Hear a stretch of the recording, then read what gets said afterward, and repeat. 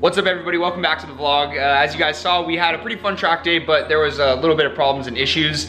Um, randomly, I'm going back to the track with TJ on Tuesday, so I have some stuff to do to the car as you guys saw. I need a new alignment, uh, some turbo coolant lines, and some wiring done to the car just to make sure everything's decent enough to be able to go drive and go get some good practice in and actually burn through my tires instead of only one set. So we're gonna dive right into that stuff right now. So on my turbo, I run uh, water lines and oil lines for cooling the turbo. Uh, as far as like a performance aspect, it's definitely the way to go.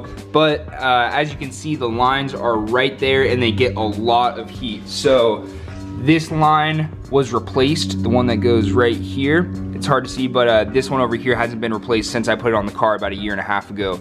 Um, it's kind of hard to see right now because it is dark and everything, but when I pull this off, you'll see how cracked it is and how melted it is. And that would really suck because if that went at the track and it exploded, I would be done for the day and I wouldn't be able to get that line anywhere. So definitely trying to do some preventative maintenance so I can get out there and have as much fun as possible. Yo, Carlos got a new car. So it's my new 135. It's No, Carlos no, driving it's it's it's cool. it- it's definitely Carlos's. Hey, Carlos, what started in Japan? what started in Japan? How much power does it have, Carlos?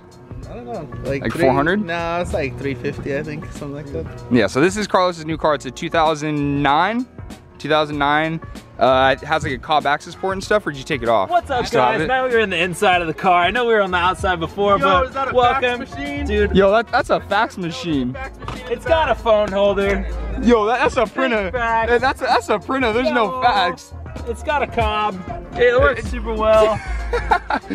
you got toilet paper just in case, you know. Already running into some problems. Uh, the little nut to get the hose clamp off for the line is a six millimeter wrench and all I have is an eight. So I'm going to cruise over to Home Depot, get a six millimeter wrench, and then also I'm gonna get some nut and bolts to be able to mount my battery to the floorboard so that doesn't bounce around and nothing sketchy happens. Also, I'm gonna cruise over to Abel's right now, go get that turbo line, and then uh, I have some uh, parts of his I need to get back to him and uh, some tools he let me borrow. So we're gonna head over to Abel's and I'll see you guys there.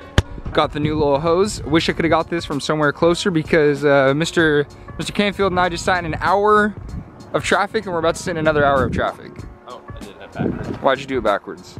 Hey, dude. Yeah, so it, it's like two hours later of sitting in traffic and we stopped at Home Depot to try and get some tools. You just farted really bad, dude, I heard that. I did not. okay, we stopped at Home Depot to try and get some tools, but they're way too expensive. So we're here at good old Harbor Freight to get some crappy tools, but they will get the job done, won't they, Phil? Yeah. Dude, and they have, it's 20% off right now, isn't it?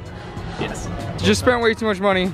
Jace convinced me to buy this 225 piece set. I got this bag full of stuff. so hopefully I'm pretty set up for working on my car in the garage now. And Jace said he wants to use my tools. So looks like it's gonna be Jason's tools and my tools now. So we just got back to the house and Jason has his car up on some jack stands. What are you doing, Phil? Dude, it's, it's, a, it's a mess right now. I'm not gonna lie. You decided to spend some money today? Yeah, I spent a little bit of money. Uh, got PBM's new drop knuckle for the rear, for the Z. It's Yeah. dumb lit. Insanely it's, light. It's super sick. And I also got the upper arm for it, and I got a new camber arm because mine has play in it, and it makes the wheel shake, so it's super annoying. So now you'll have full PBM front and rear, Yeah, coilovers, I, I, arms. I, I have every suspension arm that PBM makes for the Z. Yeah, so here, I'm gonna show you guys the arms that he just got right now.